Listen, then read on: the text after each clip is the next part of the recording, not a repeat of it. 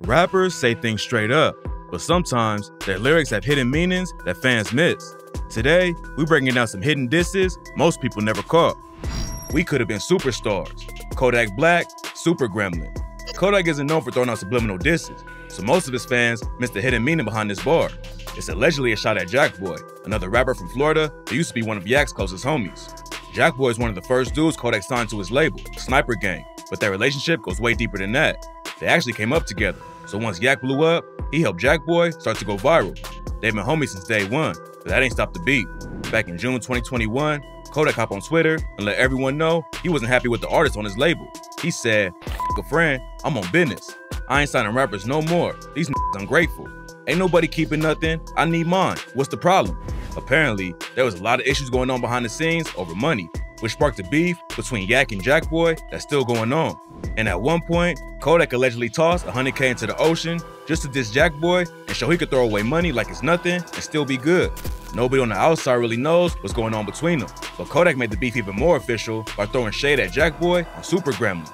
Hopefully they can sort things out before it gets too crazy. These next two artists prove that even if you have one of the biggest beefs in rap history, you can still move on and link up in the future. You love her, then you gotta give the world tour. Is that a world tour or your girl's tour? Yeah, trigger fingers turn to Twitter fingers. You getting bodied by a singing I'm not the type of that'll type to And shout out to all my boss wife Drake back to back. After Meek Mill tried to air Drake out for using ghostwriters, Drake clapped back with two savage diss tracks that shocked everyone. But a lot of fans didn't get just how brutal these lines on back to back really were. Meek was still with Nicki Minaj from the track drop, and Drake called him out for being the opening act on her tour. He was basically saying that Meek wasn't running things on the business side or in their relationship, and shouting out Nicki. Drake and Nicki have been friends for years, but that didn't stop Drake from going after her man when he needed to. Drake and Meek eventually squashed the beef and collab on the track going bad, but rap fans will never forget the shots they took at each other. I done made more millionaires than the Lotto did. Dame made millions, Biggs made millions, Ye made millions, Just made millions, Dior made millions, Cam made millions. Beans to tell you if he wasn't in his feelings. Jay-Z, Pound Cake. Everyone knows Jay-Z has put a ton of rappers on the map, but apparently, even making someone a millionaire isn't enough to keep them out of their feelings. Jay signed Beanie Sigel to Roc-A-Fella Records in 2000 to help his career take off, but they started beefing a few years later when Beanie was facing attempted murder and weapons charges in 2003. Jay vouched for Beanie in court, but also said he wasn't responsible for him. Beanie went on Drink Champs last year and said, I never been crushed like that ever in my life. That took away a lot of shit that I thought we had. It's wild that Beanie was so pressed over the situation after everything Jay had done for him, but the beef ended up lasting over a decade. They finally squashed it in 2015 and took the stage together at a Tidal concert, but Jay called him out a couple years earlier on Pound Cake. It wasn't a serious diss, and a lot of fans didn't even catch it, but Jay was just setting the record straight for anyone who had it twisted. Now, when that shit went down with Chris, you wrote a check. In New Orleans, wore my chain to get respect. You a fraud. So what that tell me? You a Indiana fan. Say the wrong shit, you know the shooter's at your neck. Meek Mill wanna know. Everyone remembers back to back, but Meek had some savage lines in his beef with Drake too. A lot of what he said went over people's heads though, because they didn't know the backstory. The first line is a reference to 2012 when Chris Brown and Drake's crews got into a fight at a club. They eventually squashed it and worked together again. But Meek referenced a rumor that Drake cut Brown a check to settle the situation. Then he aired Drake out for wearing one of Meek's Dream Chaser chains at the 2014 NBA All-Star game and sent a warning that there could be real-life consequences if Drake wasn't careful about what he said. These were some wild disses, but what came next was even crazier. Robbed you in your city and you told. Tory from the Six, you hating on him, Lord knows. Culture Vulture, now it's time to pay the tolls. Soft as a lacrosse team, Boy, that's worth the hold. Meek Mill, War Pain. After Wanna Know dropped, Drake shot back with Summer 16. Then, Meek shocked everyone when his response track War Pain came out just 15 minutes later. Rumors say that someone in Drake's crew leaked the lyrics to Summer 16, which is how Meek already had the response locked and loaded. On War Pain, Meek went after Drake for calling the cops after he got robbed in his hometown of Toronto back in 2009. Drake says that he didn't go to the trial because he didn't want the dudes to get locked up, but he still filed a police report after it went down. Then Meek called him out for dissing Tory Lanez on Summer 16. Lanez is another rapper from Toronto who's tight with Meek, so Drake sent shots at him too for no reason. The last line is a reference to a diss Jay-Z sent at Drake on the track They Don't Love You No More. Drake had dissed Jay in a Rolling Stone interview, so Jay clapped back with the line, Wrong sport, boy. You know you soft as a lacrosse team. Contract all up. I guess that means you all up. You signed to one that signed to another that signed to three Now that's bad luck. Pusha T, Exodus 23-1. Pusha T has said these lines aren't about Lil Wayne or YMCMB, but a lot of fans and other artists think that's cap. Some say it's about Drake, because Drake is signed to Wayne's Young Money label, which is under Birdman's Cash Money label, which is under Universal Records. But most people think it's aimed at Wayne himself. Wayne was with Birdman's YMCMB label, Birdman was signed with Ronald Williams' Cash Money label, and Cash Money is under Universal too. Even though Pusha said it wasn't about them, Wayne tweeted, Pusha T and anybody that love him after the track drop. So obviously, he took the diss personally. You niggas talk to them little kids. You ain't famous to me. Told you I'm aiming straight for the head, not aiming to please. I could give a fuck about who designing your sneakers and tees. Have somebody put you on a Gildan, you play with my seed.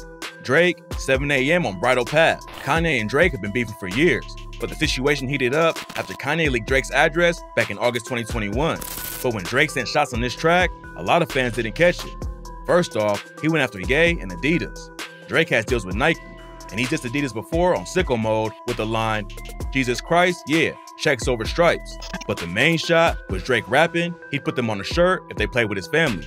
This is allegedly referencing Ye leaking his address, which will obviously put Drake's whole family in danger if some crazy fans wanted to try something, but it was never confirmed.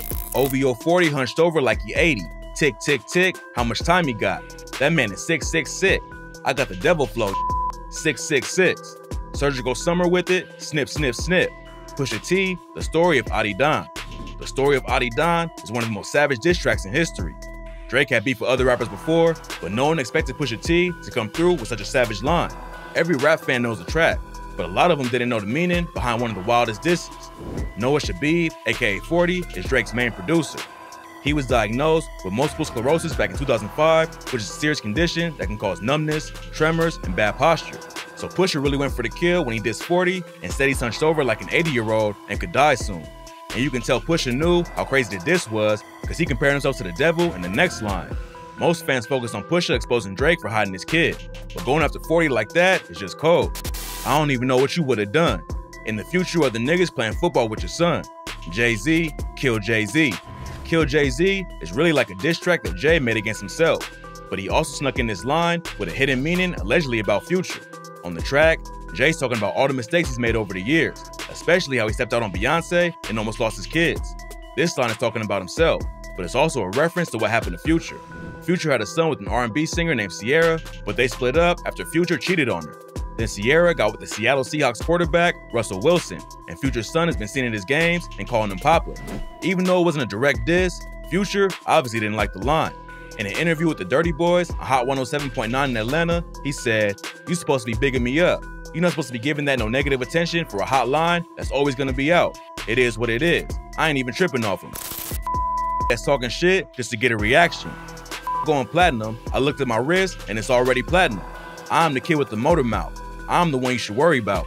Drake, the language. Most rappers wouldn't go after someone as popular and skilled as Kendrick. But after Control dropped, Drake proved he was ready for the smoke. Drake helped Kendrick pop off by featuring them on his Take Care album, then giving them a feature for Good Kid Mad City. So he felt disrespected when Kendrick called him out on Control. On the language, Drake sent shots at Kendrick for calling rappers out just so people would pay more attention to him. Kendrick clapped back on Jay Rock's track Pay For It with the line, Been dissecting your motor mouth till I break down the engine. But the beef didn't end there. A few years later, Obama said that Kendrick would win in a rap battle against Drake. But if Drake and Kendrick Lamar got in a rap battle, who do you think would win? Got to go with Kendrick. I'm just saying.